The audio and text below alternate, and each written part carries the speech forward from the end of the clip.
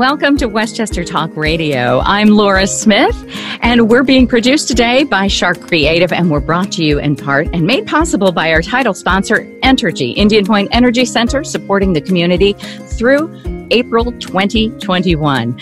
Also, our Sharkcast sponsors are Lippolis Electric, don't be left in the dark, Hightower Westchester Fiduciary Wealth Advisors, and White Plains Hospital. Thank you, everyone on the front line.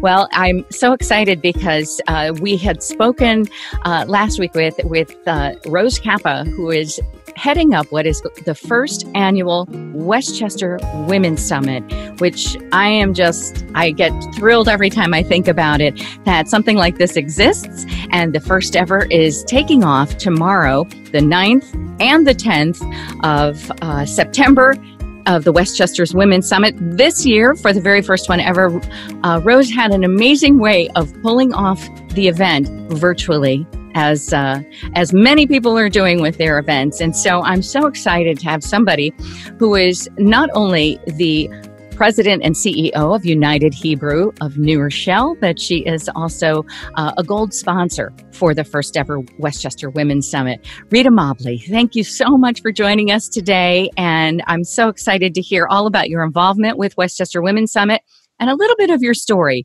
which I find really inspiring, and your background to be um, something I think that's important for people to hear about. Rita, thank you so much. Oh, this is such a privilege and a pleasure. Thank you. And, and my shout out to Rose for putting together an absolutely unbelievable summit of just such a cadre of women from Westchester that I'm so privileged to be a part of. Absolutely. The, and the uh, wonderful keynote speakers, Susan Rice, Gretchen Carlson. I mean, this is big stuff and um, really uh, wonderful people that make Westchester uh, really the most dynamic, I think, a county and community to live in. But you're one of them. And being the president and CEO of United Hebrew of New Rochelle, you're the first female uh, ever president and CEO of United Hebrew. Tell us about that. Um, it, it's a milestone and it's important. How did you break the so called proverbial glass ceiling, Rita? I uh, was privileged to be hired here right out of graduate school, and I started the Human Resources Department many years ago. Worked my way up the ranks. Um, I had a, uh, a mentor in the previous uh, person in my position, and he believed in me and gave me a chance. And uh, I was very, very fortunate to learn from the people that I worked with. The uh, men and women at that point that I worked with were so generous with their knowledge that when I sat for my administrator's license exam, uh, it was okay. I did okay. Uh, just got one question wrong. It still bothers me that I got that one question wrong. After all and these I've years, been here ever since. And it is not only the place that I work, but it's it's my home. And the, the seven and a half acre campus here is where I want to be, even on the worst of days. And part of that, most of that, is because of the wonderful people that I'm privileged to serve with. So, You're very fortunate to be part of a culture in a company that sounds like from the get go has been supportive, generous, um, truly allowing women to succeed. Yes. You know, not every company has that, but you're a part of that. And um, you, I'm sure, have carried on that legacy throughout um, your tenure as, as the CEO and president. And and United Hebrew of New Rochelle, a very special place. Let's tell people a little bit about that beautiful campus you're talking about and, and the services you provide there. We are a comprehensive uh, care campus that serves the uh, people, mostly people over 65, everything from independent living to skilled nursing. Uh, including assisted living, including care at home, including uh, low income housing, uh, and skilled nursing, but the skilled nursing pavilion also includes uh, rehab. So people can go home after they have gotten better post surgery, post stroke. And uh, we are privileged and proud about the fact that we can get people so much better that they can go home and have a wonderful and active life. I always tell the anecdotal story that I've had three relatives here for post surgery rehab. They're all still talking to me. So I consider myself lucky and uh, all of the credit for the success of our five star campus is due in total part, in total, to the wonderful and caring staff upstairs on the floors. They are just an amazing group of men and women, mostly women. Mostly women. Mostly really? Women. Is, is that right? Yeah, yeah, I would say that 90% of our staff are women. Uh, I would say to you that through just the prov- providence, uh, whoever, guiding our selection, all of the lines of business, and there are seven corporations on the campus, all of the lines of business are headed by women. Um, that, that's brilliant. Yeah. That's wonderful. And, and, and I'm sure obviously you have a, there's a standard. It's not just because they're women. It's because they're women with certain qualities and abilities and uh, that um, y- you have chosen them. Mm-hmm. In general, um, are you uh, is United Hebrew like other campuses of such where the caregiving is usually by by women? Is that why there are so many women in it, or is there just such an incredible um, amount of of talented women in the workforce in Westchester County right now? I think that it's a good combination of both, but I think that our campus works as well as it does. And I think this is generally true for most um, places that are giving care to others. That women are n- known primarily for being nurturing individuals. We have nurturing individuals. They helped me to write our mission statement, which is very, very simple. We are kind people that care for you like family. And oh. it's as simple and as complex as that. So when you come here, we greet you like you're a member of the family, and hopefully we can send you home if that's what your diagnosis is is getting us to. So um, it's it's all a part of that. You know, I learned everything about being a leader from my mother, who had an eighth grade education, and she taught me. She taught me from the time that I was little kindness never hurts anyone. You know, harsh words can never be taken back, but kindness never hurts anyone. And I learned that, and I watched her survive when when Dad died when I was 11 or something like that. And we were the two poorest people you'd ever meet living in the Bronx, and she made it work. She was a woman of the future. That inspires me to such a level. Was was she born in this country or did she come from another? No, she was born here. Had an, as I told you, had an eighth grade education. The day after she finished grammar school, she got on the subway down in the Bronx and worked, worked in a sweatshop.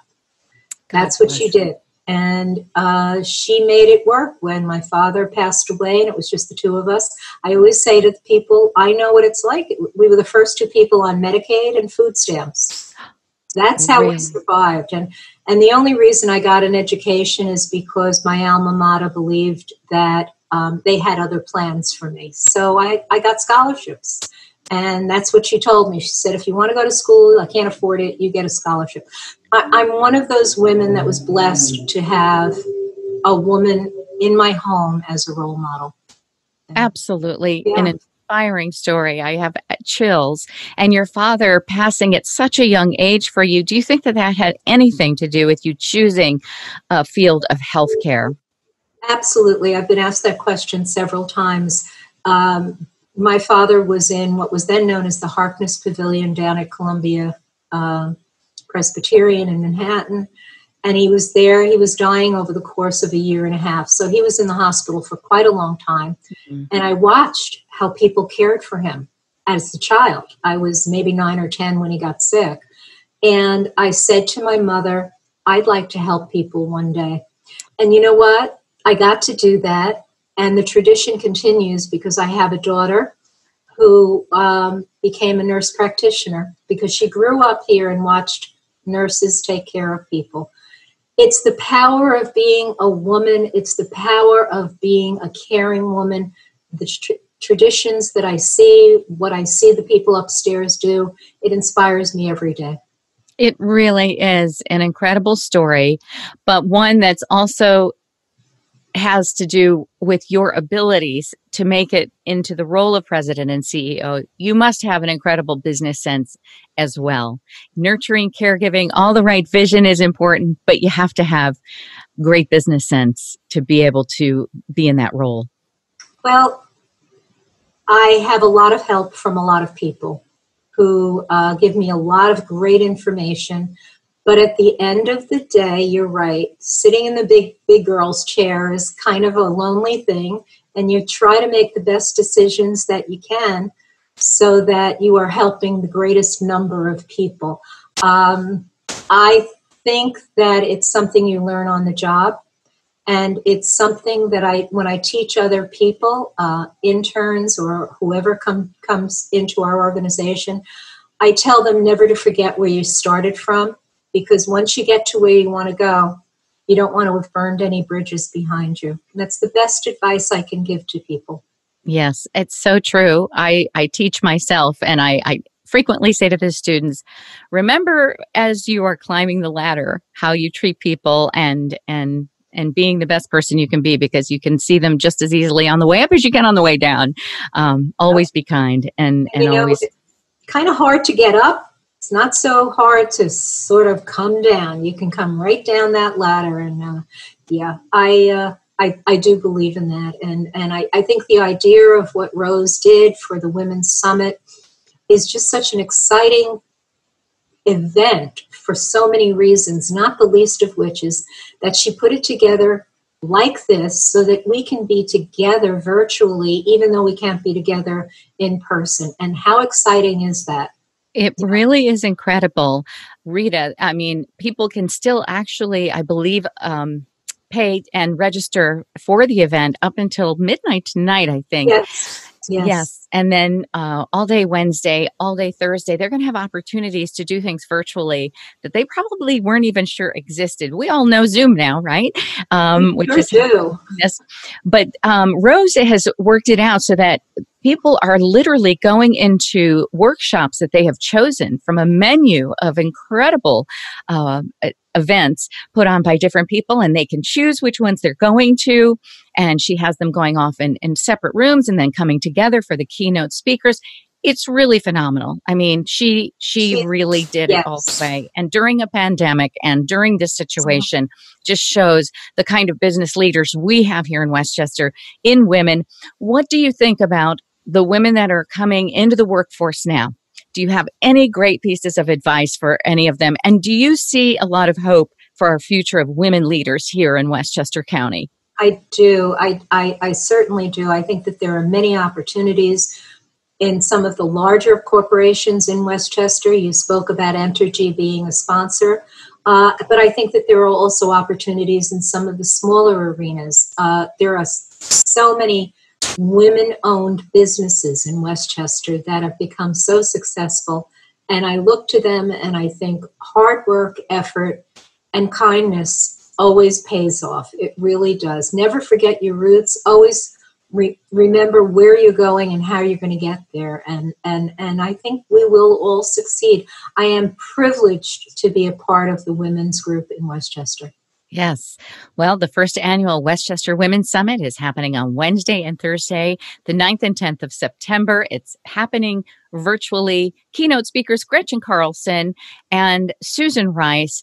What an amazing event. So many women have signed up, over 300 participants at this point, but still chance to register tonight. Go Google the Westchester Women's Summit and you'll find the website there and it's all ready to go for you to register yourself and be a part of this first ever spectacular event. And Rita Mabli, you and United Healthcare, uh, United Hebrew, sorry, uh, geriatric here in New Rochelle being a gold sponsor because you see the value of what this event is going to bring forth. Thank you for sharing your story with us. Thank you for the work that you do there, that people know that when it comes time for their loved ones to have either long term care or rehabilitation and the many, many services that you provide there.